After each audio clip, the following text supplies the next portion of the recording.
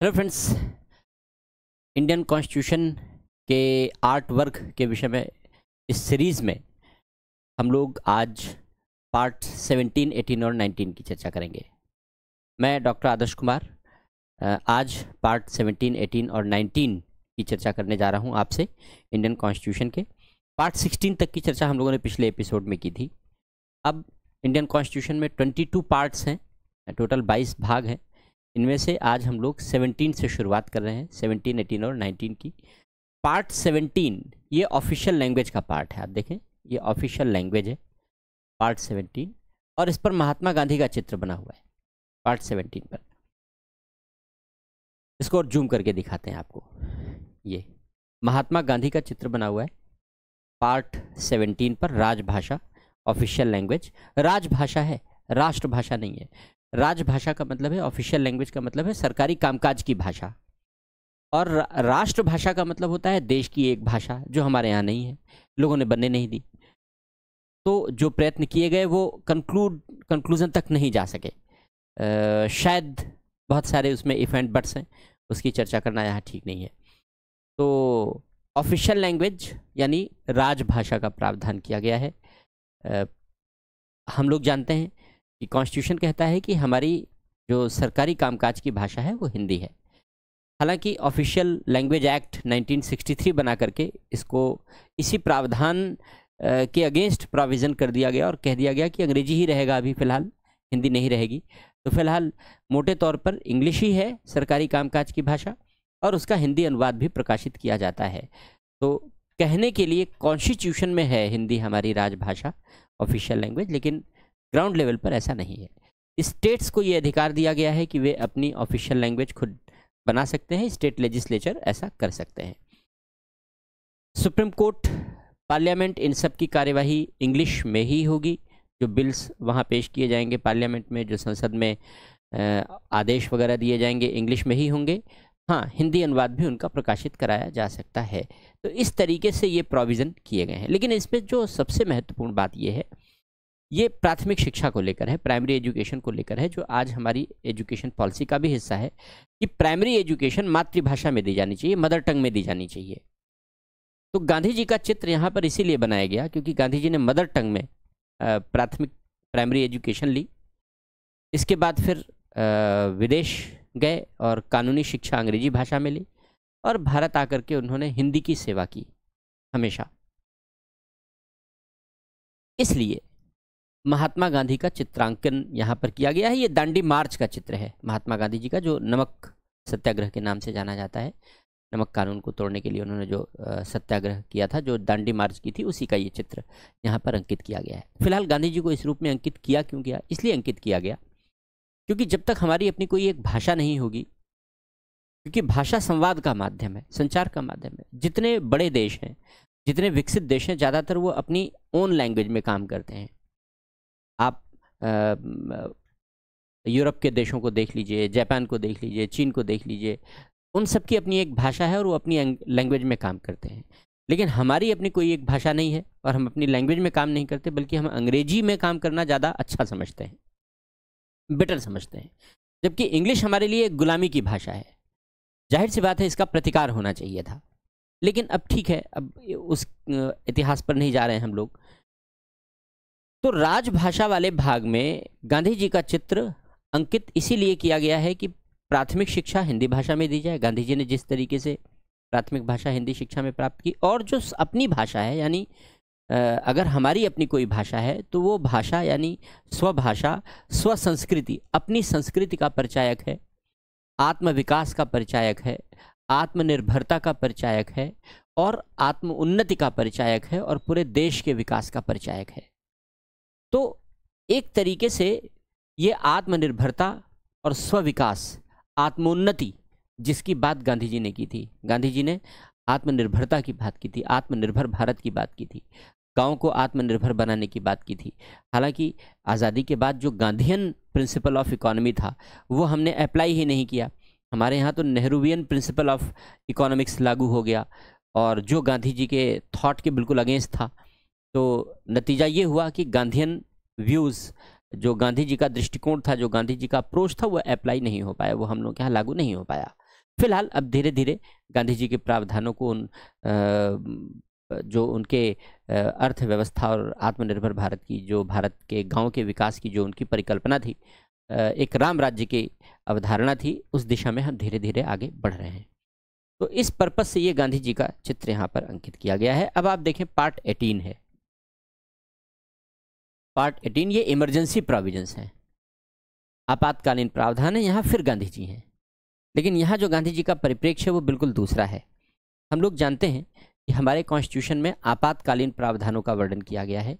Emergency लगाई जा सकती है नेशनल इमरजेंसी लगाई जा सकती है, युद्ध या बाहरी हमले या हथियारबंद विद्रोह के दौरान, या फिर राष्ट्रपति शासन प्रेसिडेंट रूल लगाया जा सकता है, या फाइनेंशियल इमरजेंसी अभी कभी आवश्यकता तो नहीं पड़ी है, लेकिन प्रावधान है यहाँ पर।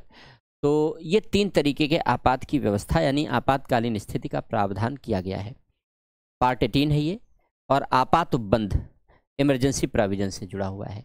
अब देखें आप, यहाँ पर तो गांधी जी हैं, यहाँ भी गांधी जी का चित्रांकन किया गया है, लेकिन परिदृश्य बदल गया है, बिल्कुल। ये परिदृश्य कौन सा है?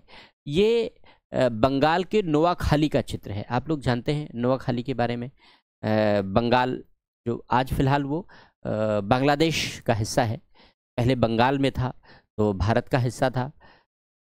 नोआखाली में जब दंगों की शुरुआत हुई, सांप्रदायिक दंगों की शुरुआत हुई तो गांधी जी नोआखाली गए, जिससे कि वहाँ सांप्रदायिक दंगे रोके जा सकें। क्योंकि भारत विभाजन से पूर्व ही जब डायरेक्ट एक्शन डे, प्रत्यक्ष कार्यवाही दिवस जिन्ना ने मना मनाना शुरू कर दिया तो बड़े पैमाने पर मुस्लिमों ने अपने इलाके से हिंदुओं को खदेड़ना शुरू कर दिया। और उसका परिणाम ये हुआ कि बड़े पैमाने पर दंगों की शुरुआत हो गई, हिंसा की शुरुआत हो गई। देश के अलग अलग भागों में इस तरीके की हिंसा बंटवारे से पहले ही शुरू हो गई। और उसी एक हिंसा में जो नुआखाली का ये चित्र है उसे यहाँ पर दर्शाया गया है, क्योंकि ये आज़ादी से पहले भी ये आपातकालीन जैसी स्थिति थी। ये आपातकालीन जैसी स्थिति थी। लेकिन ये बड़ी अच्छी बात थी कि गांधी जी जहाँ जाते थे जहाँ जहाँ इस तरीके के दंगे हो रहे होते थे, जहाँ इस तरीके का, की हिंसा हो रही होती थी, वो अपने आमरण अनशन से या अन्य प्रयासों से वहाँ शांति की स्थापना का प्रयास करते थे और काफ़ी हद तक उन्हें सफलता मिल भी जाती थी। तो उनके इसी सफल प्रयासों को यहाँ आपातकालीन प्रावधानों में जगह दी गई है, नोआखाली के चित्र के माध्यम से।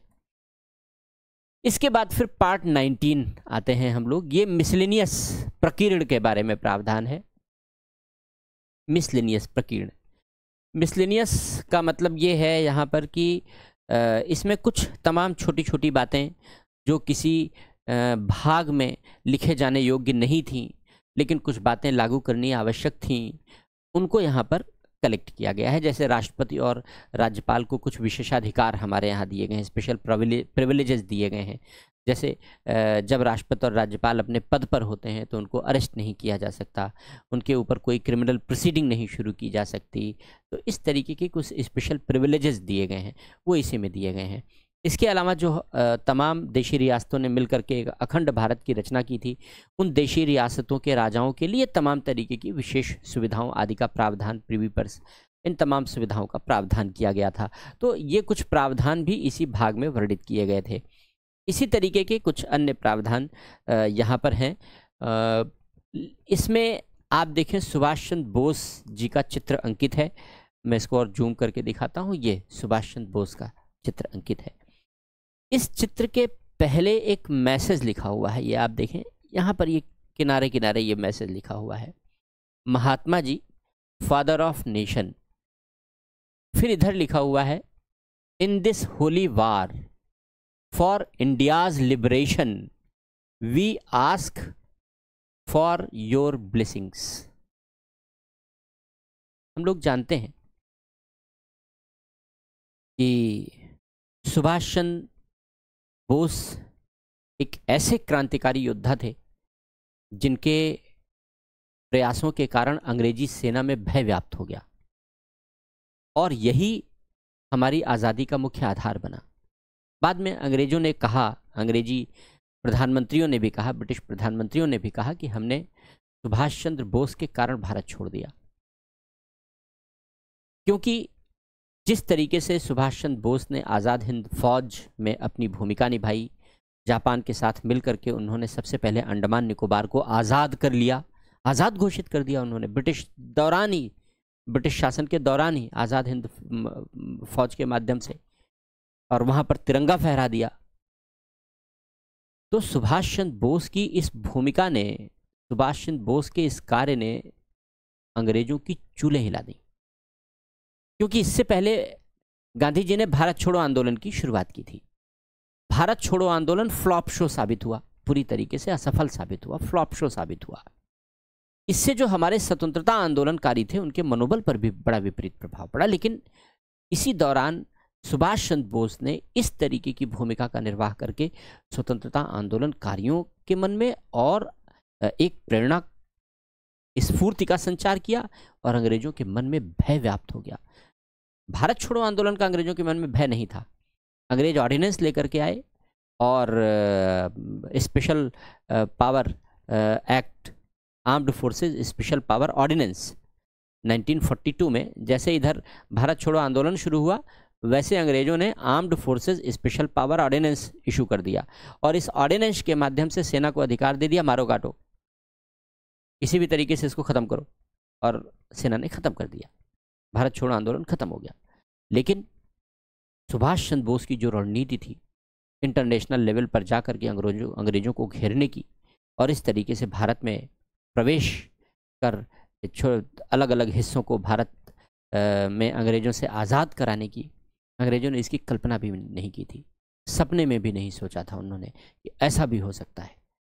और इस ब्रिटिश सरकार के इसी ब्रिटिश सरकार के विरुद्ध इसी अभियान के कारण, इसी योगदान के कारण सुभाष चंद्र बोस जी का चित्र यहाँ पर अंकित किया गया है। केवल दो स्वतंत्रता संग्राम सेनानियों का चित्र अंकित है। बाकी तो जो हमारे वीर थे जैसे शिवाजी गुरु गोविंद सिंह रानी लक्ष्मीबाई, कल हम लोगों ने इन लोगों के बारे में चर्चा की।